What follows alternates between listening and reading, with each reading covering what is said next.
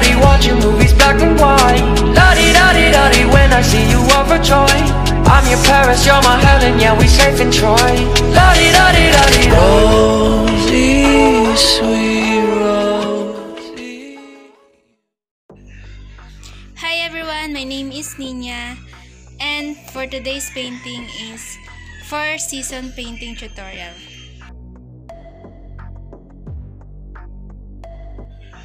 So in this video, I use masking tape for borders.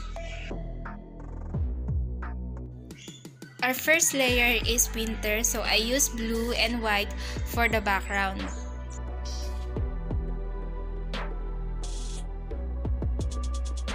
And the second layer is summer, so I use orange and yellow for the background.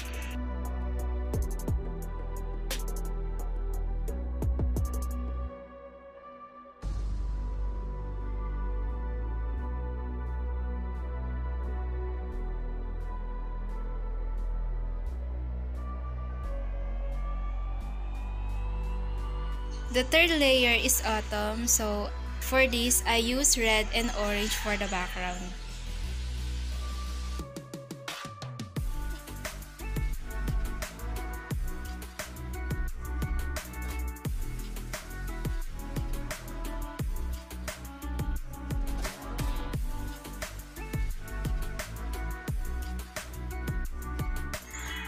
The fourth layer is spring, so I use green and yellow green for the background.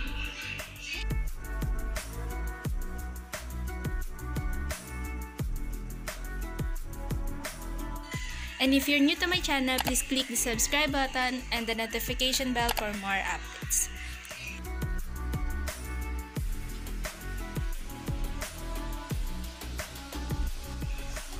So, I use black paint for the three branches. And makikita natin dito sa painting na to na madidivide siya into 4 kasi ginamitan ko siya ng masking tape for the borders at saka sa pag-divide sa 4 types of season.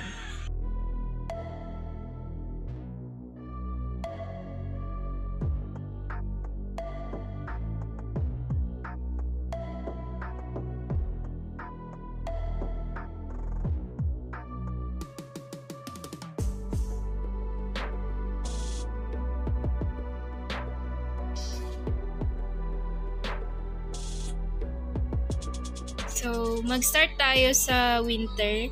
And hindi natin lalagyan ng dahon yung mismong branch ng puno. Lalagyan lang natin siya ng mga snow dun sa mismong branch. And gagamitan din natin to ng mga droplets ng snow gamit ang white poster paint.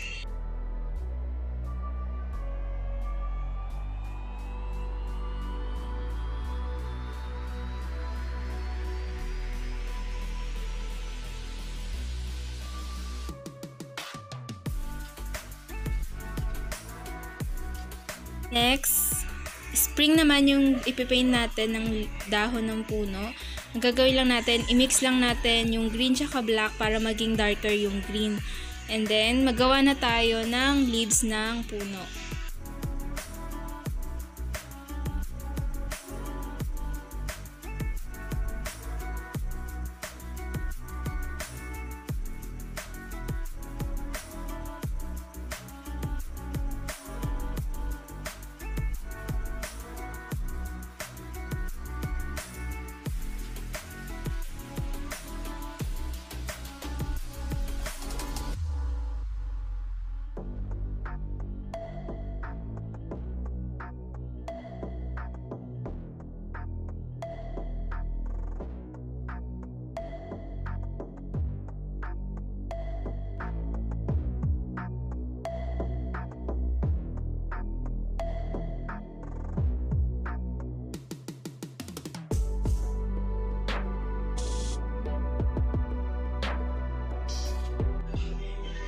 Next is summer. So, sa summer naman, ginamitan ko ng red na paint para dun sa leaves para mas ma-emphasize yung kulay ng leaves sa may background kasi kulay orange, yellowish orange yung background.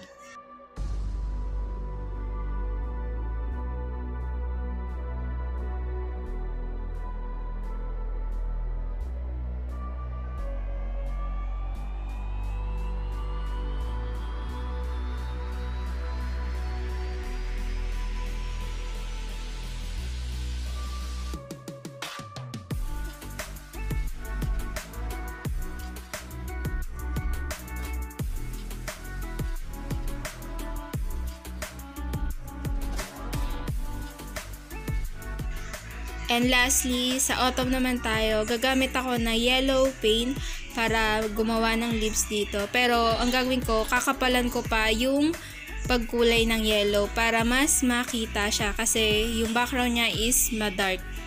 Darker orange kaya kailangan yung yellow dapat mas kapalan natin at hindi natin ganun kalagyan ng tubig kasi magbe-blend lang yung mismong poster paint dun sa background.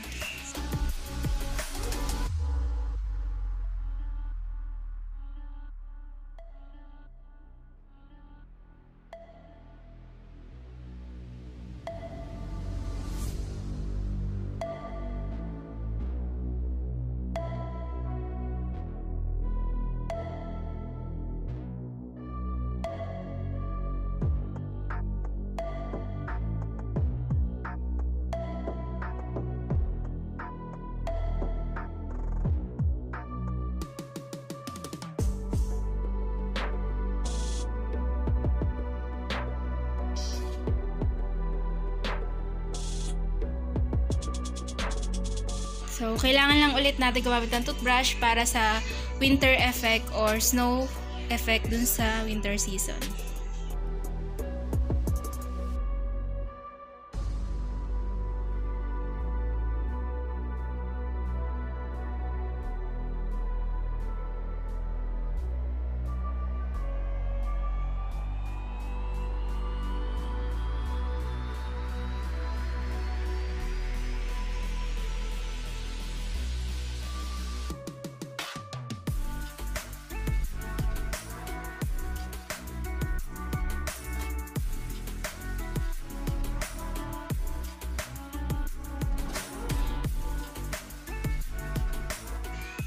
Start na tayong magtanggal ng masking tape dun sa mismong acrylic canvas and then makikita na natin yung result ng naging painting natin. So, in this painting, ang gusto ko lang i-advise is take the courage to face the different season in our life and no matter what happens, always trust God sa lahat ng season ng buhay natin mula up, ups and downs, maging successful man or hindi Basta tuloy-tuloy lang tayo kasi there's always a good season for us. Yun. Thank you so much and please don't forget to like, share, and subscribe and hit the notification bell for more updates. Bye-bye!